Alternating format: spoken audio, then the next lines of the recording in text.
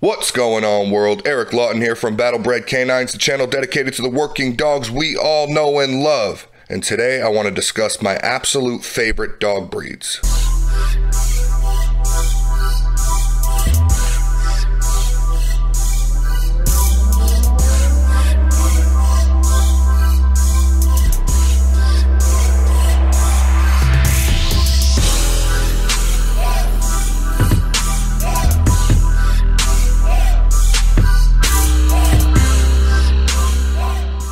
This list is not in any particular order or ranking because that changes every day for me because I'm a psychopath. I just decided to put this list together to show you guys the breeds I like most. Before we dive in, don't forget to stomp on that like button and subscribe for more free content. Also, feel free to visit battlebredcanines.com for updates and free downloadable content. As always, I appreciate your support. Now let's dive in. Number one, the Rottweiler. I'm mentioning the Rottweiler first because I actually own one myself and I have to say he is the most obedient dog I've ever owned, and I've had many dogs throughout the years. These dogs are the bomb diggity. Yes, I'm bringing that back. The only thing I feel the Rottweiler lacks is heat tolerance compared to other breeds. They can also develop dominance issues if not handled correctly. Outside of that, you can't go wrong with a good Rottie. It should be noted that my Rottweiler does come from quality stock. He's very athletic and doesn't suffer from any of the hip or joint issues that most large dogs are prone to. He just turned 7 and can still keep up with my pit mix when it comes to his working abilities. Number 2, the American Pit Bull Terrier. As I've said in previous videos, the true American Pit Bull Terrier is in a lane of its own. I have owned a few of these myself. They are, in my opinion, probably the healthiest breed out there. These dogs are tough as nails. Again, we are talking about the real deal game Pit Bull Terrier. Now, unless you are extremely careful with these animals, you can easily run into trouble. Most of these dogs are not human aggressive, but there are pit bulls on record who have been. I would be more concerned about the safety of other pets more than anything.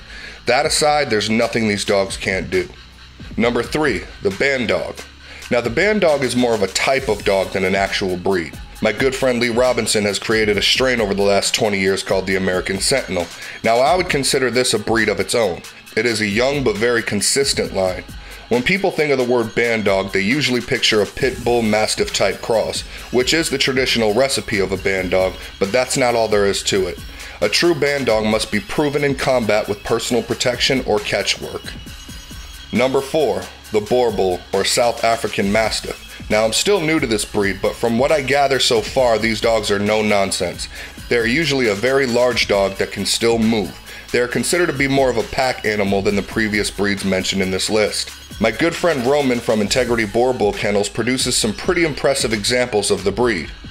Number 5 the Cane Corso, also known as the Italian Mastiff. Now, from what I've been told, these dogs have been compared to the Rottweiler when it comes to their temperament. That would make sense considering they both descend from the Mastiff dogs of the Roman Empire.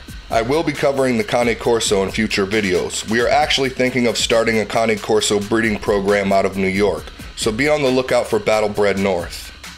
Number 6, the American Staffordshire Terrier. Now, these dogs don't even come close to the working ability of the closely related Pit Bull Terrier, but I absolutely love the way some of these dogs look. If anyone knows of any great Amstaff breeders, give them a plug in the comments. I have been on the lookout. Number 7, the Belgian Malinois.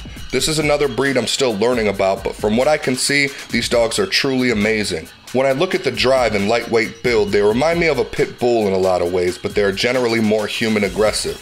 I will eventually be putting together a video on this breed as well. So that about wraps it up for my favorite dog breeds. I know this was a quick one and I'm sorry if I left anything out, but these are just my personal favorites. Remember to like, subscribe, and share. I will see you guys next time. I love you all. God bless.